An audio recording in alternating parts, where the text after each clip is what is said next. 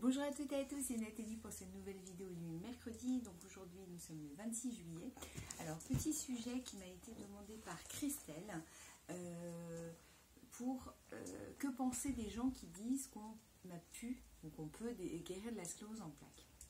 Alors moi j'ai regardé un petit peu sur le net. Alors sur le net vous avez, vous pouvez euh, taper hein, guérir la sclose en plaques. Hein. Vous verrez il y a des tonnes et des tonnes de de, pages qui ont été ouvertes en ce sens. Alors certains disent on peut en guérir grâce aux plantes. J'avais fait un sujet sur les plantes. On peut en guérir grâce à telle chose, telle chose. Enfin bref, il y a des charlatans, il y a, plein de choses. Donc, mon avis perso, hein, je dis toujours, ça n'engage que moi. Euh, je pense que on ne peut pas guérir de la CEP, même si c'est une, maladie auto-immune, donc on se crée on pourrait se la décréer, ça n'existe pas, hein, mais c'est pas grave comme mot.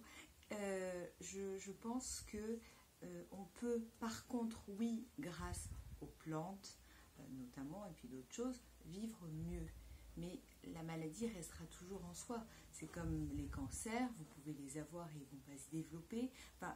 Puis il n'y a, pas que ça, il y a plein d'autres maladies. Donc je, perso, hein, j'assiste bien, je pense que en guérir comme ça par euh, plus ou moins l'opération du Saint-Esprit, ça paraît difficile. Euh, par contre, euh, je pense que le moral notamment est un facteur très très important dans notre maladie, comme dans beaucoup d'autres, dans toutes les maladies de toute façon. et je pense, vous voyez, moi, perso, donc après bah, plus de 20 ans, si je n'avais pas le moral que j'ai, malgré les très nombreuses poussées, donc comme quoi le moral n'empêche pas non plus les poussées, le handicap d'évoluer, euh, je ne serais pas dans cet état-là si euh, j'avais eu un moral pourri. Donc, pour en revenir à la question initiale, peut-on guérir de la CEP avec certaines méthodes? Moi, je pense que non on peut vivre mieux, ça c'est certain. Euh, on peut faire que la maladie reste en sommeil pendant des années, toute sa vie. Mais euh, guérir totalement, non. Euh, pour moi, la maladie sera toujours, toujours là.